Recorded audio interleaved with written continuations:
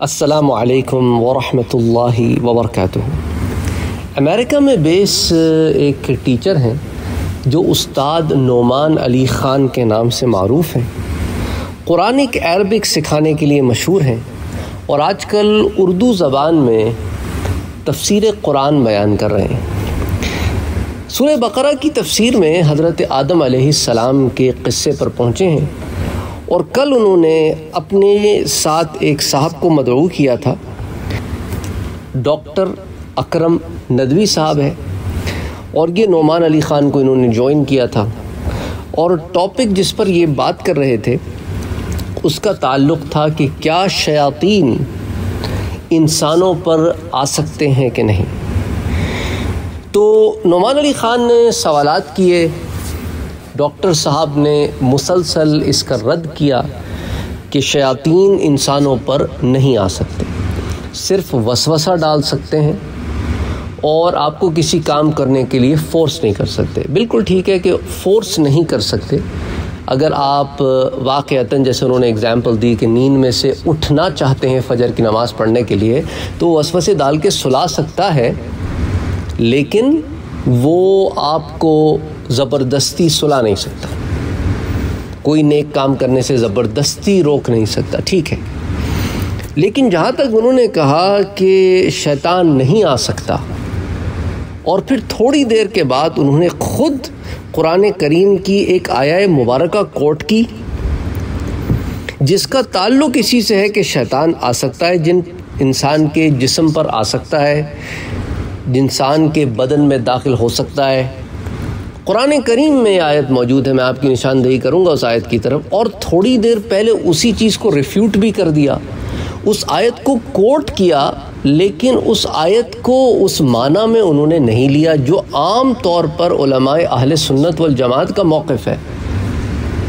और नुमान अली ख़ान पर मुझे ये एतराज़ है कि उन्होंने इस चीज़ की तरदीद भी नहीं की, कि हज़रत क्योंकि वो, ठीक है, कुरान अरबिक पढ़ाते हैं, लेकिन वो सिर्फ़ उस मैदान तक महदूद नहीं है। वो दीगर और टॉपिक्स में भी चले जाते हैं, जैसा कि आजकल तफसीर में गए हुए हैं। तो उनका तो काम ये बनता था कि वो कहते कि हज़रत, इसके अंदर ये ये चीज़ें भी मौजूद हैं। अगर वो इसके ऊपर डिस्कशन कर लेते तो फिर मुझे ये वीडियो बनाने की ज़रूरत ना पेश आती। ये वीडियो मैं इसीलिए बना रहा हूँ ताकि मैं इस चीज़ को आपके सामने वाजे करूँ कि जिनका इंसान के बदन में दाखिल होने से मुतल कुरान और हदीस क्या कहते हैं? क्योंकि उन साहब ने जो कल तशरीफ़ लाए थे उनके शो पर, डॉक्टर अकरम नदवी, जिन्होंने अपना तारफ़ भी कराया, हिंदुस्तान से ताल्लुक़ है उनका, इंडिया से, उत्तर प्रदेश से, और फिर वहाँ पर उन्होंने तालीम हासिल की, फिर ऑक्सफर्ड यूनिवर्सिटी में रिसर्च करते रहे, फिर वहाँ पे किसी इस्लामिक सेंटर से मुंसलिक हो गए और कई किताबें लिखी हैं। तो बहरहाल, इसकी वजाहत करनी ज़रूरी मैंने समझी क्योंकि मैं उस सेशन में मौजूद था, मैंने वहाँ कमेंट भी किए। लेकिन मैं समझता हूँ कि फेसबुक पर लाइव आ रहा था। तो I just joined for some time लेकिन मैं समझता हूँ कि इसकी वजाहत करना ज़रूरी है। देखें, जिन का इंसान के बदन में दाखिल हो जाना, ये यकीनी तौर पर किताब और सुन्नत और बाइतफ़ाक़ अहल सुन्नत वल जमात और हिस्सी और मुशाहिदाती तौर पर यह साबित है। और इस मामले में सिवाय मोतज़िला के, जिन्होंने अपनी अकली दलाइल को किताब सुन्नत पर मुकदम किया, किसी और ने इख्तलाफ नहीं किया। तो अब ये जो राय पेश कर रहे थे कि ये ड्रामेबाजी होती है, ये सिर्फ़ ड्रामेबाजी होती है, ये सिर्फ़ पैसे ऐठने के ज़रिए हैं, ठीक है, इसमें नेगेटिव एलिमेंट्स भी हैं, इसमें ड्रामेबाजियाँ भी होती होंगी, लेकिन उनको सामने रखते हुए आप इसका मुस्तकिल तौर पर इनकार नहीं कर सकते just to appease the western world ऐसी लग रहा था कि वो certain group of mind set को अग्री कर रहे हैं। और कुरान करीम सूर बकरा बकरा की आया नंबर 275 में अल्लाह जवजल फरमाता है, और वो लोग जो कि सूद खोर हैं, खड़े नहीं होंगे, मगर इसी तरह जिस तरह वो खड़ा होता है, जिसे शैतान छू कर खपती बना दे। तो कुरान तो खुद कह रहा है कि शैतान असर डालता है, और यहाँ तक डालता है कि इंसान पर हावी हो जाता है कि वो खपती हो जाता है। आज, अब आ जाए मुफसरीन कराम की तरफ़। स्टार्ट करते हैं इमाम कुरतुबी से। नाम सुना होगा आपने उनका। बहुत मशहूर मुफसर कुरान है। अपनी तफसीर में, जल्द नंबर तीन में, सफ़ा नंबर तीन सौ पचपन में, वो लिखते हैं कि ये आयत इस इनकार को फासद करने की दलील है, जो कहता है कि दौरे दौरे जो है, वो जिन की तरफ़ से नहीं, और वो ये गुमान करता है कि ये तबीयतों का फ़ेल है, और शैतान इंसान के अंदर नहीं चलता और ना ही इससे चिमटा है। ये ये रद्द है ऐसे थॉट प्रोसेस का। अच्छा इबन कसीर ने अपनी तफसीर में, जल्द नंबर एक, सफ़ा थर्टी टू में, इस, ये आयत ज़िक्र करने के बाद कहा है कि यानी वो क़यामत के दिन अपनी कब्रों से ऐसे खड़े होंगे जिस तरह के मिर्गी वाले को दौरे की हालत होती है और शैतान इसे खपती बना देता है और इसलिए कि वो मुनकर काम किया करता था। और इबन अब्बास रज़ी अल्लाह तु का फरमान है कि सूद खोर क़यामत के दिन मजनून और गला घोटा हुआ उठेगा। और सही हदीस है, दर्जा सही हदीस में जिसे इमाम नसाई ने अबुल यसर से रिवायत किया है। और हुजूर सल्लल्लाहु अलैहि वसल्लम की ये दुआ है कि अल्लाह मैं गिरने और बहुत ज़्यादा बुढ़ापे और गर्क होने और जल जाने से पनाह माँगता और तेरी पनाह में आता हूँ कि मुझे शैतान मौत के वक्त खपती बना दे। अच्छा इसी तरह इमाम नवावी ने अपनी किताब फैज़ुल कदीर की जिल्द नंबर दो सफ़ा वन फोटी एट में इबारत की शरह में कहा है कि और मैं तुझसे पना माँगता हूँ। कि मुझे मौत के वक्त खपती कर दे, कि वो मुझसे चिमट जाए। तो उन्होंने इस रिवायत की तशरी बयान की है। कि मौत के वक्त खपती कर दे कि वो मुझसे चिमट जाए और मेरे साथ खेलना शुरू कर दे और मेरे दीन या अक्ल में फसाद बर्पा कर दे। मौत के वक्त यानी नज़ा के वक्त, जिस वक्त पाँव डगमगा जाते हैं और अकलें काम करना छोड़ देती हैं और हवास जवाब दे जाते हैं और बाज़ अवकात शैतान इंसान पर दुनिया को छोड़ते वक्त गलबा पा लेता है तो इसे गुमराह कर देता है या फिर इसे तोबा से रोक देता है और फिर बड़ी तफसील से उन्होंने आगे बात की है। अच्छा वो लोग जो इबन तैमिया को फॉलो करते हैं। इबन तैमिया की भी मैं आपको राय बता बता दूँ। मजमु अलफतावा, उन मशहूर किताब है इबन तैमिया की। उसके अंदर जल्द चौबीस सफ़ा टू सेवेंटी सिक्स पे लिखते हैं कि जिनों का इंसान के बदल में दाखिल होना बिल इतफ़ाक़ आइम्मा अहल सुन्नत वल जमात से साबित है।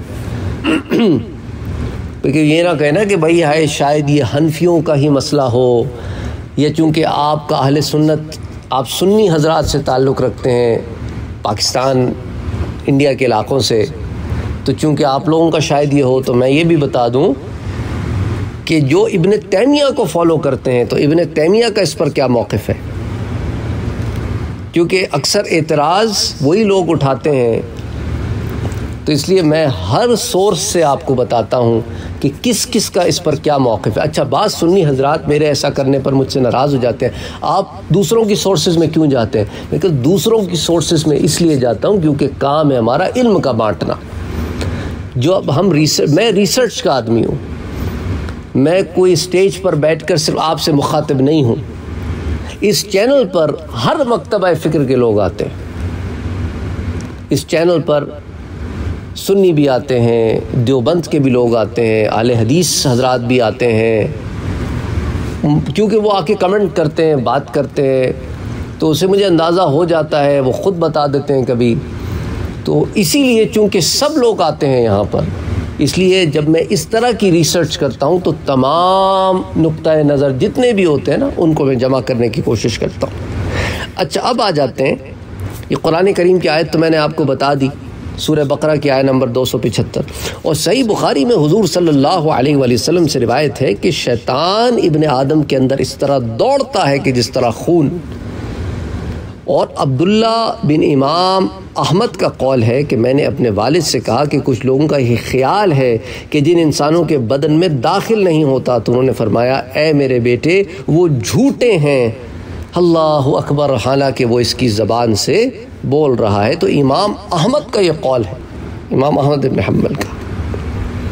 तो बहरहाल, इससे मैं समझता हूँ कि बात काफ़ी वाज हो गई होगी। अच्छा तो जिनों का इंसान के जिसम में दाखिल होना, ये कुरान करीम में भी आ गया और सुनत मतहरा और अहल सुनत व जमात के इतफाक़ से भी साबित है। कुछ और दलीलों पर बात करते हैं। अल्लाह ताली का इरशाद पाक और दरअसल वो अल्लाह की मर्ज़ी के बगैर किसी को कोई नुकसान नहीं पहुँचा सकते। तो इससे भी ये वाज है कि पहुँचा सकते हैं। पर जो कुछ भी होता है वो अल्लाह की मर्ज़ी से होता है। तो ये बिलाशक इस बात की वाज दलील है कि जिन अल्लाह के हुक्म के बगैर ये ताकत नहीं रखते कि वो किसी को जादू या इससे चिमट कर या किसी और तरीके से गुमराह करें या ईज़ा दें।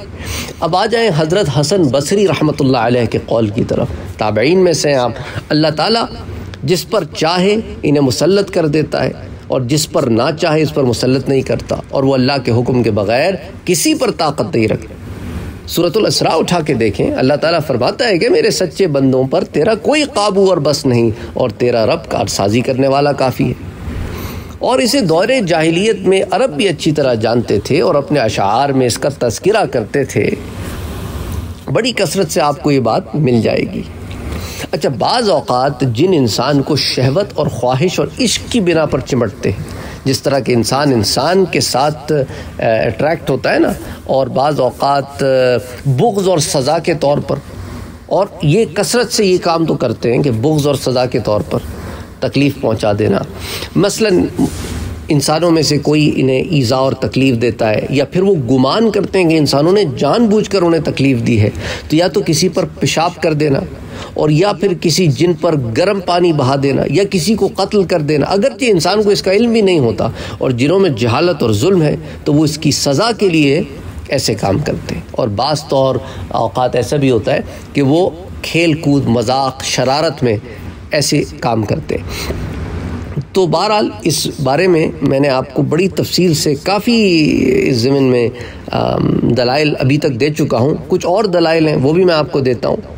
और शैतान का हमला करना, ये तो बुखारी शरीफ की रवायत है कि हुजूर सल्लल्लाहु अलैहि वसल्लम ने शैतान के साथ क्या किया जब वो आप पर अंगारा लेकर हमला आवर हुआ? तो आप सल्लल्लाहु अलैहि वसल्लम ने फरमाया, मैं तुझसे अल्लाह की पनाह में आता हूँ और तुझ पर तीन बार अल्लाह ताला की लानत करता हूँ। तो यहाँ से भी ये बात साबित हो जाती है। और कुरान करीम में जैसे मैंने आपको बताया आयतल कुर्सी से मदद ली गई है। हजूर सल्लल्लाहु अलैहि वसल्लम का फरमान मुबारक है कि बेशक जो इसे पढ़ेगा इस पर अल्लाह की तरफ़ से एक मुहाफ़ सुबह तक के लिए मुकर कर दिया जाएगा। और शैतान इसके करीब भी नहीं आ सकेगा। बुखारी शरीफ की रिवायत है। फिर इसी तरह कुलाउज़ बरबिलफ़लक और कुलाउज़ बरबिलनास ये पूरी सूरतें पढ़ने का जो आ, मामला है। तो बहरहाल मैं उम्मीद करता हूँ कि काफ़ी सारी तफसीत मैंने आपको यहाँ फ़राम कर दी हैं। क्योंकि मुझे बड़ा अजीब सा लगा कि वो एक डिस्कशन थी तो it was his job it was his responsibility Noman Ali Khan की, कि वो इनके, इन गलत मफरूज़ात को गलत फहम की असलाह करता, या कम से कम उसके ऊपर मज़ीद डिस्कशन करता, बजाय इसके कि उनके लिए हुए, उनसे, उनके जवाबात को उसने एक्सेप्ट किया and he moved on to the next question तो एनी anyway, उम्मीद करता हूँ कि इससे मकसद मेरा यही है कि सही पॉइंट ऑफ़ व्यू आपके सामने रखा जाए बजाय इसके कि आप इसको कोई और रंग दें क्योंकि सही इल्म का पहुँचाना ये ज़रूरी अमर है। असलकम वरहमल वर्क और आपकी सहूलत के लिए व्हाट्सएप का ग्रुप भी बना हुआ है और टेलीग्राम का चैनल भी बना हुआ है। दोनों के लिंक्स डिस्क्रिप्शन में मौजूद हैं। आपको रिमाइंड कराता चलूँ कि सैयद साद कादरी इंग्लिश चैनल एक है और इसी तरह मैंने अभी रिसेंटली सैयद साद कादरी कुरान रेसिटेशन का चैनल भी लॉन्च किया है। तो इन दोनों चैनल्स को विज़िट करना, इन्हें सब्सक्राइब करना, इनमें वीडियोस देखना ना भूलें। अगर आपने अभी तक हमारे चैनल को सब्सक्राइब नहीं किया है तो सब्सक्राइब का बटन दबाएँ, बेल के आइकॉन को प्रेस करें ताकि आपको रेगुलर नोटिफिकेशन अपडेट्स मिल सके और आप हमें हमारे लाइव सेशंस में भी ज्वाइन कर सकें। वीडियो पसंद आने की सूरत में लाइक शेयर और कमेंट करना ना भूलें।